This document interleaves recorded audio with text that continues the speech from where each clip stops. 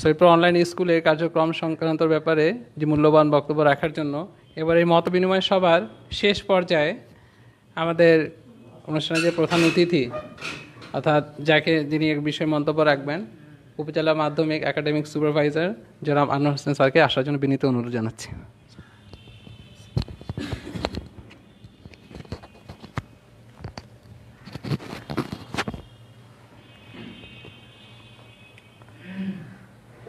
বিসমুল্লাহ রহমান রাহিম। সৈয়দপুর পাইলট উচ্চ বিদ্যালয় কর্তৃক আয়োজিত আজকের এই ইনহাউস প্রশিক্ষণ। বিষয় হচ্ছে অনলাইনে ক্লাস গ্রহণ, সৈয়দপুর অনলাইন স্কুল এবং অন্যান্য। তো এই ইনহাউস প্রশিক্ষণে উপস্থিত আছেন এই প্রতিষ্ঠানের সম্মানিত প্রধান শিক্ষক, সম্মানিত সহকারী প্রধান শিক্ষক অন্যান্য শিক্ষকবৃন্দ, সবাই আমার সালাম এবং শুভেচ্ছা গ্রহণ করুন। আমার ভালো লাগছে যে আমরা সবাই আজকে একসঙ্গে কথা বলতে পারতেছি। সারা পৃথিবীর যে অবস্থা, তাতে একসঙ্গে কথা বলা খুব কঠিন হয়ে গেছে। এখানে আমরা অবশ্য নির্ধারিত দূরত্ব বজায় রেখেই আছি। এটা একটা ভালো দিক, কিন্তু তারপরে বেঁচে আছি। এই জন্য মহান আল্লাহর কাছে শুক্রিয়া আদায় করছি, আলহামদুলিল্লাহ। তো যাক, আমরা গত তিরিশে জুলাই সৈয়দপুর অনলাইন স্কুল চালু করেছি। সেটার উদ্বোধন হয়েছিল এই প্রতিষ্ঠানেই। সেটা হাঁটি হাঁটি পা পা করে আজকে দুই মাস পূর্ণ করতে যাচ্ছে। আগামী তিরিশ তারিখ অর্থাৎ বৃহস্পতিবার দুই মাস পূর্ণ হবে। তো এর মধ্যে এই প্রতিষ্ঠানে আপনাদের কন্ট্রিবিউশন আপনাদের অবদান অনেক বেশি। শুরু থেকে আপনারা ক্লাস নিয়ে যাচ্ছেন, কষ্ট করে ক্লাস নিচ্ছেন, এই জন্য আপনাদেরকে প্রথমেই আমি আমার অন্তর থেকে ধন্যবাদ জানাচ্ছি। দ্বিতীয়ত, আমরা যে আজকে এখানে একত্রে কথা বলছি বা বলতেছি, সেটার একটা বিশেষ উদ্দেশ্য আছে। যদিও এই বিষয়গুলো আপনাদের জানা, সমস্ত বিষয় আপনাদের জানা যে কীভাবে অনলাইনে ক্লাস নিতে হয়, কীভাবে লাইভ করতে হয়, কীভাবে পোস্ট করতে হয়, সবই জানা। তারপরেও জড়তা মোচনের জন্য, অর্থাৎ আইস ব্রেকিংয়ের জন্য আমরা এখানে আর একটু বসেছি। যে আমি তো আপনাদের কাছে যদিও পুরাতন, কিন্তু তারপরে এই পরিস্থিতিতে নতুন, যে যেখানে আপনারা কথা বলছেন, এটা সরাসরি চলে যাচ্ছে বাইরে। এবং যারা অনলাইনে আছেন, যাদের কাছে নোটিফিকেশান গেছে ওনারা সবাই কিন্তু এই কথাগুলো শুনতে পারতেছেন। তো এই পরিস্থিতিতে আপনারা আমার সাথে আমার সম্মুখে কথা বলছেন এবং জড়তা নেই আপনাদের মধ্যে, জড়তা ভেঙে গেছে, এটা লক্ষ্য করে আমি খুবই আনন্দিত। তো যাক, আমরা কীভাবে সরাসরি অনলাইনে ক্লাস নিতে পারি, তার একটা উজ্জ্বল দৃষ্টান্ত হচ্ছে এই চলমান প্রোগ্রামটা। আমি এটাই চেয়েছিলাম যে কথা তো আমরা অনেক বলি, আমরা বক্তব্য দিতে পারি সবাই। কিন্তু হাতে কলমে কীভাবে প্র্যাকটিস করা যায়, আমি সেদিকে যাচ্ছিলাম। এই জন্য এখানে এসে আমি কোনো কথা না বলে কাজে চলে গেছে সরাসরি যে আমরা এই কাজটা করি। এখানে কিন্তু প্র্যাকটিস হয়ে গেল, লাইভ ক্লাস নেওয়ার প্র্যাকটিস। এটাই কিন্তু লাইভ ক্লাস একটা, ঠিক আছে? আর অন্য আর কীভাবে নিতে পারেন? অনেকেই করেন কি, যে ক্লাসগুলো ভিডিও করেন। ভিডিও করার পরে সেটা এডিট করেন। এডিট করে সুন্দর সুন্দর অংশগুলো রেখে দেন। আর যেটা বর্জন করবার মতো অংশ, সেটাকে কেটে বাদ দিয়ে দেন। দেওয়ার পরে একটা ফাইন প্রোডাক্ট বের করেন।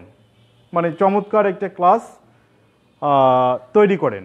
করবার পরে একটা বিশেষ সফটওয়্যার আছে। ওই সফটওয়্যার দিয়ে কেউ যদি এই ক্লাসটা পরবর্তীতে চালায়, তাহলেও আপনারা দেখবেন যে এটা লাইভ করা হচ্ছে। আসলে ওটা এরকম রিয়েল লাইভ না। ওটা একটা ভিডিও নিয়ে একটা সফটওয়্যারের মাধ্যমে লাইভ করা হচ্ছে। এটা একটা প্রসেস ঠিক আছে? আর চলমান পদ্ধতিটা, এটা আরেকটা প্রসেস আরেকটা বিষয় হচ্ছে যে আমরা ফেসবুকে অনেকেই ভিডিও শেয়ার করি না ভিডিও শেয়ার করি। ঠিক ওইভাবে আপনাদের ক্লাসগুলো আপনারা শেয়ার করতে পারবেন। আপনারা ক্লাস নেবেন ভিডিও করবেন ভিডিও করবার পরে ভালো অংশটা রেখে দিবেন, খারাপ অংশটা কাট করবেন, প্রয়োজনে আরও কিছু যোগ করবেন। যোগ করবার পরে ওই যে কন্টেন্টটা আপনার থাকল, অর্থাৎ ভিডিওটা থাকল, সেইটা সরাসরি ফেসবুকে পোস্ট দেওয়ার মতো সৈয়দপুর অনলাইন স্কুল এবং আর যেখানে যেখানে আপনি দিতে চান, সেখানে সেখানে আপনি দিতে পারবেন। ঠিক আছে? এইভাবে আমরা এগিয়ে যাব। তবে এখানে একটা বিষয় মনে রাখতে হবে। আপনি যখন রিয়েল শ্রেণীকক্ষে থাকেন, তখন অবস্থাটা হচ্ছে এরকম যে আপনার যে পঞ্চাশ মিনিট থাকে বা চল্লিশ মিনিট থাকে বা এক ঘণ্টা বরাদ্দ থাকে, এক ঘণ্টা আপনি কিন্তু নিজে কথা বলেন না। পুরো এক ঘণ্টা কি কথা বলেন? বলেন না। ওখানে শেয়ারিং হয়। শিক্ষার্থীদের আপনি কাজ দিতে পারেন। শিক্ষার্থীরা কাজ করে ততক্ষণে আপনি রেস্ট নিতে পারেন। অন্যান্য পরিকল্পনাগুলো আরও কীভাবে ভালো করে করবেন, সেইটা আপনার মাথায় ততক্ষণে আপনি নিতে পারেন ওই ফাঁকে ফাঁকে। এখানে কিন্তু সেই সুযোগ নেই। এখানে আপনাকে পুরো সময়টা কথা বলতে হচ্ছে কিংবা কাজ করতে হচ্ছে। আবার যখন আপনি কাজ করবেন, তখনও আপনাকে কথা বলতে হচ্ছে। বোর্ডে আপনি লিখছেন, লিখবার সময় আপনি কথা বলবেন, ঠিক আছে? মানে এই রিয়েল ক্লাস আর এইটার মধ্যে পার্থক্য এটুকুই যে আপনাকে এই যে বিশ মিনিট বা তিরিশ মিনিট আপনি যে সময়টা নিতে চান ক্লাস, সেই পুরো সময়টা আপনাকে ফুললি অ্যাক্টিভ থাকতে হচ্ছে। তো এইটার জন্য একটা ভালো প্রিপারেশন লাগবে আপনার। প্রিপারেশন ছাড়া যদি আপনি ভিডিওতে যান, ভিডিও সরাসরি লাইভ করেন আর হচ্ছে আপনি ভিডিও রেকর্ড করেন প্রিপারেশন ছাড়া করলে সেটা কিন্তু খুব একটা ভালো হবে না। এবং আপনি এডিট করে আর কতটুকু বাদ দিবেন? বাদ দেওয়া অনেক সময় কঠিন হয়ে যায়। দেখা যাবে যে বাদ দিতে দিতে আপনার মূল ক্লাসটাই নেই, মূল কথাগুলো নেই। এই জন্য অবশ্যই আপনাকে প্ল্যান করতে হবে যে আপনি বিশ মিনিট বা পঁচিশ মিনিট বা তিরিশ মিনিট, দশ মিনিট, পনেরো মিনিট আপনি কি করবেন সেটা প্ল্যান করবেন। ধরুন যে আপনি একটা কবিতা পড়াচ্ছেন, তাহলে ওই কবিতাটা নিজে ওখানে আবৃত্তি করার, আবৃত্তি করতে হবে আপনাকে। নিজে ওর অংশগুলো জটিল জটিল অংশগুলো নিজেই ব্যাখ্যা করতে হবে। আর শ্রেণীকক্ষে আপনি কিন্তু শিক্ষার্থীর নিকট থেকেও শুনতে পারতেছেন। কঠিন কঠিন শব্দগুলো আপনি নিজে আইডেন্টিফাই করবেন। হয়তোবা শিক্ষার্থীর উদ্দেশ্যে আপনি প্রশ্ন ছুড়ে দিবেন যে কঠিন কঠিন শব্দগুলো কি তোমরা বের করতে পেরেছ? এটা বলার পরে আবার নিজেই কঠিন কঠিন শব্দগুলো অর্থ আপনাকে করে দিতে হচ্ছে। কোনো একটা অংশের ব্যাখ্যা করে দিতে হচ্ছে। আপনি হয়তো কবির জন্মসাল শিক্ষার্থীর নিকট জানতে চাচ্ছেন। প্রশ্ন করে আবার আপনাকেই উত্তর দিতে হচ্ছে। আবার প্রশ্নটা এমনভাবে করতে হবে যাতে সেটা একদম শোভনীয় হয়, একেবারে চমৎকার হয়, শুনতে ভালো লাগে, শিক্ষার্থীরা বুঝতে পারে। আবার যদি প্রশ্ন করবার পরে আপনি সময়টা বেশি খেয়ে ফেলেন ওই জায়গায় মানে গ্যাপ যদি একটু বেশি থাকে আপনার উত্তর দেওয়া এবং প্রশ্ন করার মধ্যে, তাহলেও দেখা যাবে যে খুব একটা ভালো লাগবে না, একটু ঝিমিয়ে পড়বে। এই জন্য দশ মিনিট, পনেরো মিনিট, বিশ মিনিট যেটা সময় আপনি ব্যয় করেন না কেন, সার্বক্ষণিক আপনাকে অ্যাক্টিভ থাকতে হবে, একেবারে ফুললি বিজ্ঞানের ক্লাস আপনি নিচ্ছেন। আপনি যদি কোনো উপকরণও দেখান, তাহলে কখন কোন উপকরণ দেখাবেন? এটা রেডি রাখতে হবে। প্রয়োজনে এরকম করা যেতে পারে যে আপনার পাশে আরেকজন হেল্পিং হ্যান্ড থাকবেন। আপনি ইশারা করবেন, উনি যাতে তাৎক্ষণিক আপনাকে সহযোগিতা করতে পারেন। এইভাবে কাজগুলো করতে হবে। এভাবে যদি আমরা ক্লাসগুলো নেই, তাহলে সেই ক্লাসটা অবশ্যই সুন্দর হবে এবং শিক্ষার্থীর নিকট এটা শিক্ষণীয় একটা বিষয় হবে, আকর্ষণীয় হবে। অন্যথায় কিন্তু খুব একটা আকর্ষণীয় হবে না। তো যাক আমার বিশ্বাস যে আপনাদের যে পটেনশিয়ালিটি আছে আপনাদের যে শক্তি আছে ক্ষমতা আছে সেই শক্তিতে আপনারা বলিয়ান। আপনারা আমার বিশ্বাস যে আপনারা সেরকম একটি আকর্ষণীয় ক্লাসে নিতে পারবেন। আমি তো এই স্কুলের বেশ কয়েকজনের ক্লাস অলরেডি দেখেছি। আজিজুর রহমান আরমান স্যার তারপরে মুকুল স্যার আর আহ, এই মুহূর্তে উল্লেখ করতে পারতেছি না। তবে আইএলসি ল্যাবে এসে বেশ কয়েকজনের ক্লাস আমি দেখেছিলাম।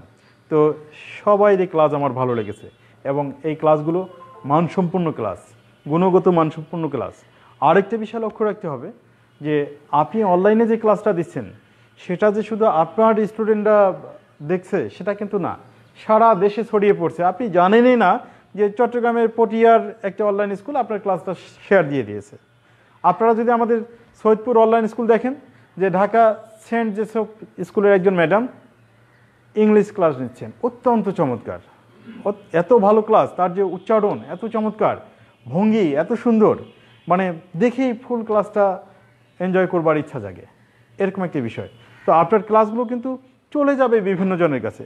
এই যে আজিজুর রহমান স্যার ইউটিউবে ক্লাস দিয়েছেন। অনেকেই দেখছেন। বিদেশে, বিদেশেও আছেন অনেকেই দেখবেন। এবং আমাদের সৈয়দপুর অনলাইন স্কুল, আমি একদিন দেখলাম যে কোন কোন দেশের সদস্য আছেন। তা আমি দেখলাম যে আমেরিকা যুক্তরাষ্ট্রের সদস্য আছেন, তারপরে ইংল্যান্ডের সদস্য আছেন, আমাদের ভারতের সদস্য আছেন, অস্ট্রেলিয়ার আছেন এবং মালয়েশিয়ারও আছেন। এর মধ্যে হয়তো বা আরও বেড়ে গেছে। তো দেখেন যে কয়েকটা মহাদেশ কিন্তু কাভারেজ হয়ে গেছে আমাদের অনলাইন স্কুল এই জন্য আপনারা যা উপস্থাপন করবেন এখানে, এমনভাবে উপস্থাপন করবেন যে আপনি বিদেশিদের কাছে বাংলাদেশকে উপস্থাপন করছেন। আর নীলফামারীর অন্যান্য উপজেলার কাছে আপনি সৈয়দপুর উপজেলাকে উপস্থাপন করছেন। আর দেশের অন্যান্য জেলার কাছে আপনি নীলফামারী জেলাকে রিপ্রেজেন্ট করছেন। এইটা মাথায় রেখে আপনাকে এগিয়ে যেতে হবে। ঠিক আছে? আর আরেকটা বিষয় হচ্ছে যে কন্টিনিউয়াসলি এই কাজটা করতে হবে। আপনাদের মধ্যে রুটিনটা একটা রুটিন করে ফলো করতে হবে যে কোন তিনজন আগামীকাল সেশন নেবেন। বা কোন তিনজন তার পরের দিন নেবেন এবং বিষয় কি? এগুলো আপনারা বসে নিজেরাই ঠিক করবেন। ঠিক আছে? তাহলে কাজটা আরও সহজ হয়ে যাবে। আর আপনারা যেহেতু অনেকজন আছেন, এখানে অনেক শিক্ষক, এই জন্য দেখা যাবে যে একজনের হয়তো সপ্তাহে একটা পিরিয়ড পড়বে। তাই না?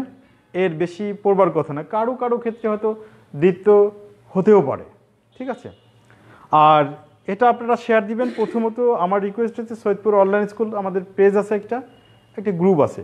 দুটোতেই শেয়ার করে দিবেন। মুকুল স্যার এখানে পেজের এডিটর আর গ্রুপের হচ্ছে মডারেটর ফলে ওনার আইডি থেকে যদি এটা দেয়া হয়, তাহলে সরাসরি আমাদের আর কাউকে অনুমোদন দিতে হবে না, সরাসরি এটা টেলিকাস্ট হয়ে যাবে। আর যদি আপনারা নিজেরাই ওখানে পোস্ট হিসাবে দেন, সেটাও দিতে পারবেন। সেক্ষেত্রে মুকুল স্যার অনুমোদন দিতে পারবে। অথবা আমরা যে আগে দেখব সেই অনুমোদন দিতে পারব। ঠিক আছে? চমৎকার